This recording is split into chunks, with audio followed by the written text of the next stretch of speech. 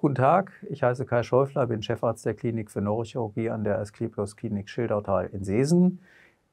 Wir bieten das gesamte Spektrum der Neurochirurgie an, behandeln schwerpunktmäßig äh, Tumoren äh, des zentralen Nervensystems, also Hirntumoren, sowohl gut als auch bösartige, behandeln vaskuläre Erkrankungen, sprich Blutungen, äh, Gefäßmissbildungen des Gehirns und des Rückenmarks sowie auch sämtliche Formen von Wirbelsäulenerkrankungen Besondere Expertise liegt im Bereich der Behandlung von Hirntumoren sowie insbesondere auch Akustikusneurinom bzw. vestibularisch Phanom und auch zum Beispiel von Schmerzsyndromen wie der Trigeminusneuralgie.